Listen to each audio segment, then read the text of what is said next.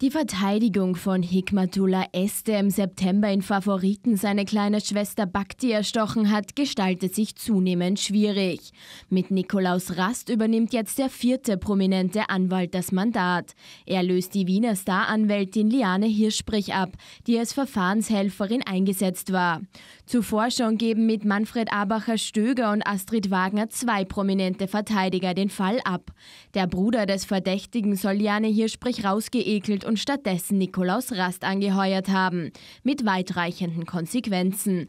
Denn Liane Hirschsprich vertritt auch die Mutter des Verdächtigen. Es geht um die Obsorge für die vier verbliebenen Kinder, drei Buben im Alter zwischen zwei und sieben Jahren sowie ein schulpflichtiges Mädchen.